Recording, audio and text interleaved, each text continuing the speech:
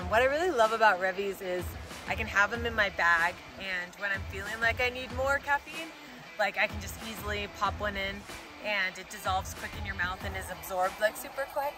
It's nice, like especially before like races or really important workouts when I really want to know exactly how much caffeine I'm having.